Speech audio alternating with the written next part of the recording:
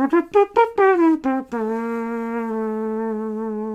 guys, how you doing? Welcome back to another episode of that show that will not be named. Um, if you notice my glasses going on and off for the duration of the next few videos, it's all basically because these headphones are tight. And they pretty much just press these, uh, press the damn bars of my glasses into my skull. And it hurts. So, to avoid HD, HD bottle opening there, HD drinking. Please invest in a Yeti uh, Blue microphone. These things are freaking incredible. I love it. Um, yeah, so to avoid headaches, sometimes I'll take them off, toss them aside, but at the at the same time, it's like I can't, I can't read shit. Um, today, I wanted to talk about one of my absolute favorite movies. Goes by the name of No Country for Old Men. Also, one of my favorite books. No Country for Old Men is about this dude named Llewellyn. Yeah, Llewellyn. Llewellyn Moss. And basically, this dude finds a whole bunch of money um, at this place where all these gangsters pretty much shot the shit out of each other. He steals it, there's a tracker in it. Hitman comes after him, other hitman tries to finesse him out of the money and I guess indirectly try to save his life from first hitman trying to whoop his ass. Um, and pretty much the whole thing just ends up with everybody dead except for a uh, uh, sheriff who really played no role and was like one step behind the first uh, assassin the whole time, hitman the whole time, and the first hitman who is utterly scary.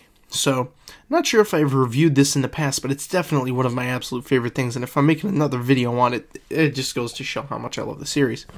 Not the series, the fucking movie. Well, the movie and the book as a joint franchise.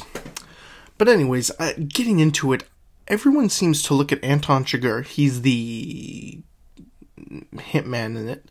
Um, everyone seems to look at him as like almost like a ghost and during the last scene of the movie, they have this thing where um, the whole time, um, Tommy Lee Jones he plays the sheriff who's like always one step behind um, Anton Chigurh, and when he's going after him, the last scene is like him opening up. He's like, okay, I think he's in here. I think he's in this hotel room. I think he killed Llewellyn or whatever. So he goes in and he undoes the door but the way that they film it, it's uh, Chigurh getting the money out, and then he looks towards the door, and there's feet underneath the door, and somebody's unlocking the door. And pretty much the movie sets it up as if, oh shit, Anton Chigurh is in that room. Tommy Lee Jones is standing outside the room. The sheriff's outside the room. He's gonna walk in. They're gonna have a showdown. Something's gonna something's gonna happen. and then when he opens the door, Anton's not there. But what is there is a vent with um, coins near it because Anton, when they were opening, uh, when he was opening like little vents and shit, he would use like a penny or a dime or whatever to open it up as a makeshift screw. And pretty much they set this up as if like there, were, people that I, were, I was watching it with that are like, oh, he went through the vent, he's a ghost. Like there's no way. And it's like no, he got the money out of the vent and then he left obviously what was happening in the film was the, at the ending, the scene with Chigurh and the scene that was shared with um, Tommy Lee Jones, that took place hours apart. It just so happened to be shown like on top of one another, flashback forth, back forth, back forth, to give you the impression that it's like, ooh, maybe Anton Chigurh is something, uh, you know, supernatural. And I think that point drives it home further, because through the whole thing, it's like, no matter what happens to him, he gets hurt and he, he's he'll like get shot, he'll get cut, he'll get whatever, and he's just bandaging himself up. The dude's like fucking uh, Jason Voorhees, like he just keeps coming back. And then in the end, when you know the sheriff goes "fuck it, I'm done," and and uh, retires, um, and all the other characters die via Chigurh. um, then Chigurh's just left. You know, he goes and kills uh, Llewellyn's wife uh, which uh, there was a whole big thing over whether he killed her or not. He killed. He he he looks at his shoes to make sure there's nothing on them after he leaves the house. He killed her. Come on, it's his code of ethics, I guess, his edict. Um, but a lot of people are saying like, uh, maybe he is supernatural. Maybe it's something odd about him. He's not supernatural. Like one of the biggest things about this, and I think they purposely try to like do, they purposely try to show you that at the end of the film, when for no particular reason and whatever, after coming back from her house, he gets into a car accident. Somebody slams right into him and breaks his arm, and the you know the bones sticking out and whatnot. And that's the kind of thing that's just like you know it is what it is. He he's mortal. He can be hurt. He can be wounded. It is possible.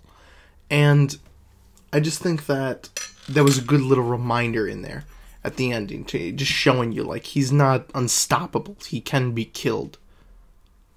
Just so happens that nobody in this film had the ability to do so. But I found that very interesting about it. That too, and his, the way that he handles interactions with people. Like I especially like, and it's a lot of people's favorite scene when he's talking to the shopkeeper, and the shopkeeper pretty much tries to bring up like idle conversation, but these the conversation sounds like too nosy or sarcastic to him, so he starts like in, indirectly like threatening the guy. And when he t- tells him about his whole thing with the Toyne costs, and you know the Toyne's coin's been traveling 32 years or whatever to get to this point. Now that it's here, I'm gonna flip it, and you're gonna have to say heads or tails. And it basically implied, you know, pick this one, you die. Pick that one, you live. And then, um, but I especially like his um his line where he says, uh, "Well, the guy wins it. The guy ends up winning the toss, and he's like, "Oh, don't throw it in your um pocket. It's your lucky quarter. Uh, put it anywhere but not in your pocket, because then then it'll get mixed in with the other others and become just a coin, which it is." And I, was just like, "What?" Like they just say it sounds like it should mean something, but then like going back and over over analyzing them, just like maybe it means nothing. Maybe it means that even though the existence of something that is strange is present, it could be that it's just average. Kind of like um, my theory on miracles. Miracles happen all the time. The only difference is we're only really around to see a number of them, which is why we call them miracles like an old woman falling from a plane at like 100 miles, hitting the ground and surviving. Sure, she breaks everyone in the body, but she survives. And is that a miracle? Yes, because it only happened once. Now, if it happens, you know, a hundred more times, then we're able to establish, okay, this is a natural occurrence. This is a regular thing that happens. It's, it's possible. It's highly probable. So something like that, that if it's able to be duplicated numerous times, we'll know, okay, it's not a miracle.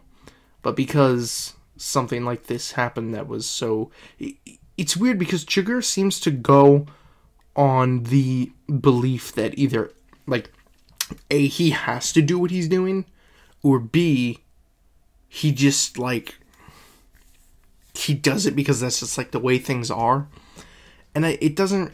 I don't really get it because whenever, like, perfect example, when the guy wins the Toyne cost, he looks visually happy he looks like when he flips and he sees the guy one, he's like, "Well done," and you see there, there's like an air of like, "whew" in his voice, and that just absolutely, I found that absolutely stunning because, as H.P. Lovecraft said, um, what the hell did he say? The, the the best explanation i'm not sure if this was him or somebody trying to be him or somebody um, the best explanation is no explanation at all and I found that interesting. I like doing that with my own writing. Like I'll introduce something super evil or something super freaky, and I'll just be like, "Yeah, so it exists," and that's all you're gonna get out of me.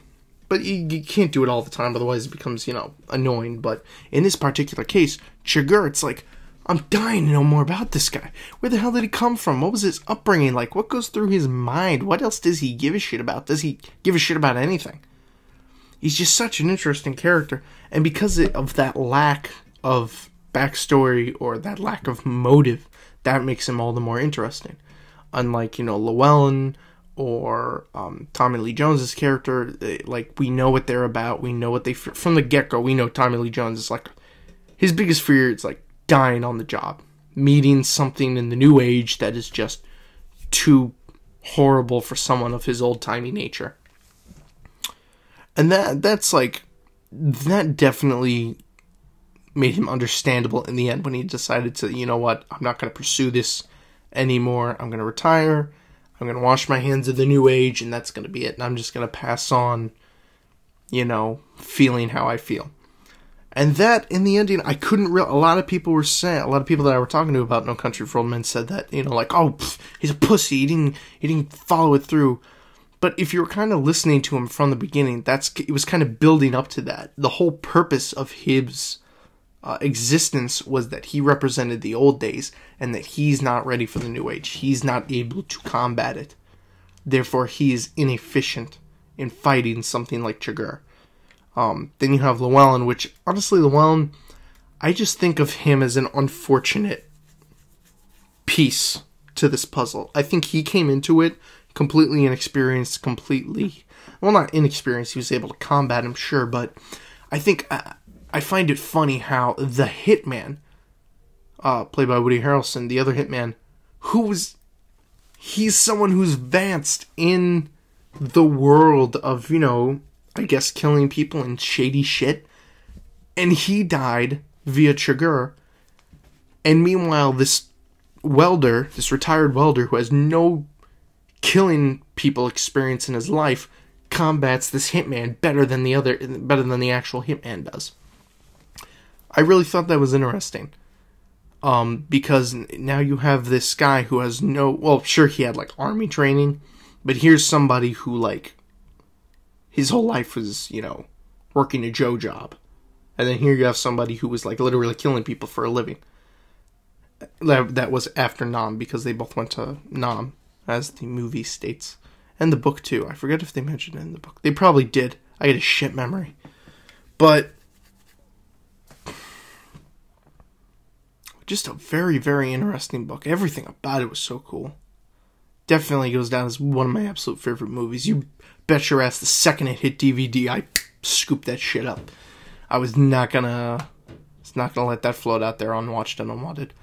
So, no Country for Old Men. Whether I already did a video on this or not, not sure. Like I said, just make goes to a testament of how much I love this damn movie and that damn book. So, also Cormac McCarthy's writing style with his unique way of writing, which if you want to see what I mean, check out his book, read his book, and you'll see what I'm talking about. All right. Ooh, water belch. I'll see you guys next time, and uh, thank you for joining me. Adios.